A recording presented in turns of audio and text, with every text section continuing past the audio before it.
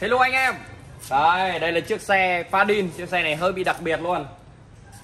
Biển là 37 Đầu là lên đầu 80.000 xe rồi. À, Chiếc xe này là chiếc xe của anh ờ, chủ xe mà hôm uh, đặt được chiếc xe ở Yên Bái rồi, Đặt được xe ở Nghệ An. Rẻ hơn 70 triệu. Đấy, tính ra con xe này mấy đâu. Bây giờ anh bán lại là lại luôn 50 triệu. Ờ, uh, 3 đến 50 triệu. Bởi vì bây giờ ra hết giấy tờ có 330 340 thì anh em bảo chiếc xe này bây giờ mua mới Hà Nội nó 400 430 không 400 thôi. Ờ, thì tiếp theo VinFast nó sẽ có một đợt nữa đây là à, sẽ giảm giá cho người nổi tiếng. Có nghĩa là những người nổi tiếng theo mình biết là cũng không hẳn là phải có cái gì đâu mà người nổi tiếng ở những cái ngành khác nhau. VinFast sẽ chia ra những cái ngành khác nhau để uh, giảm giá để mà kích cầu cho người nổi tiếng.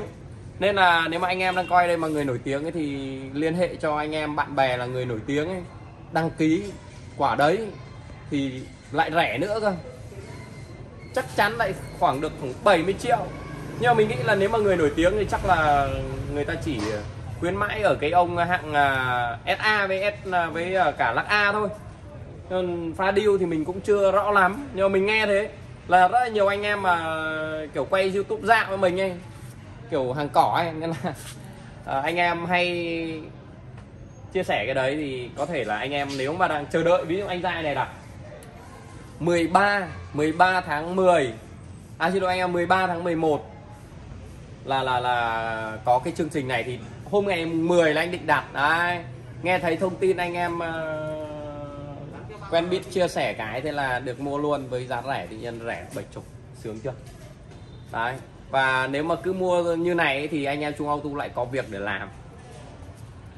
À, chiếc xe trang bị à, bộ màn hình nghe nhạc với cả cam lùi đó mà phải công nhận một điều đấy là ở Nghệ An anh mua xe chỉ sau um, thành phố Hồ Chí Minh và chỉ sau Hà Nội mà cái lượng mua xe mà ở Nghệ An bây giờ ấy là gần như là những ông đi tầm hạng A thì không thể không pha đin được luôn chắc chắn điều đấy. Ờ, mình ba đời ở nghệ an mình biết mấy ông ấy chắc lắm. Mấy ông ấy mua xe là phải thương hiệu phải giữ giá. Vinfast nó giảm một cái. Ui, mua luôn.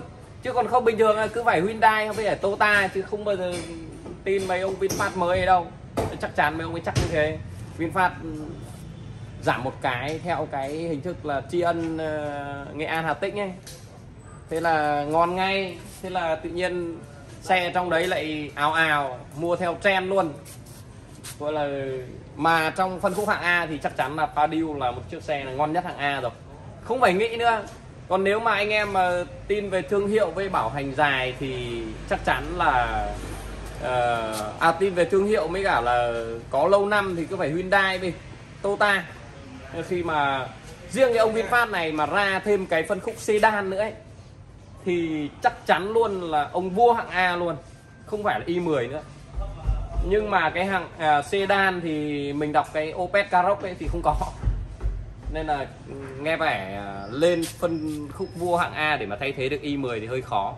Bởi vì là nếu như mà ai đấy nếu như anh em nào đang đang đang gọi là gia đình và có khoảng hai đứa trẻ thôi hoặc là có một đứa trẻ mà đang nhỏ thôi. Đấy thì chở một cái xe đẩy vào xe này cộng với ít đồ nữa nó cũng chật mất đằng sau.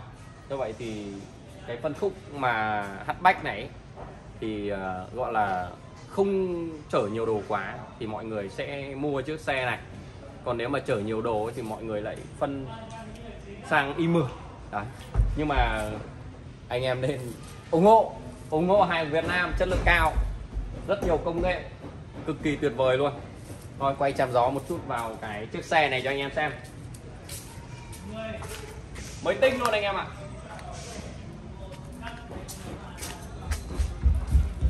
Đây giấy bóng còn nguyên luôn. Đấy.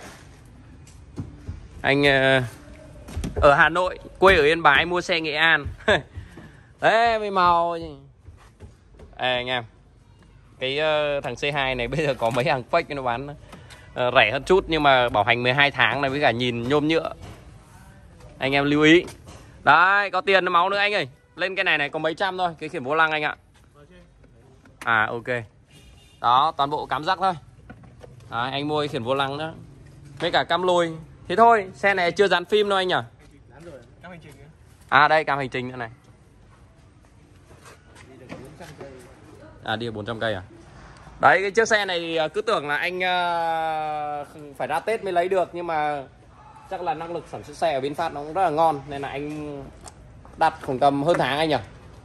Ừm, 15, 13 tháng 12 đến ờ, mùng 7 tháng 1 có. Đấy mùng 3 tháng 12 Mùng 7 tháng 1 Anh Tức có 20 ngày.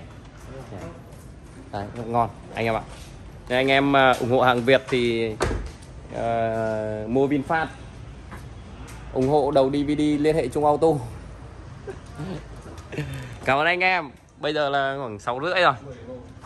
À, Anh em đang lắp nốt thôi. Xin chào anh em.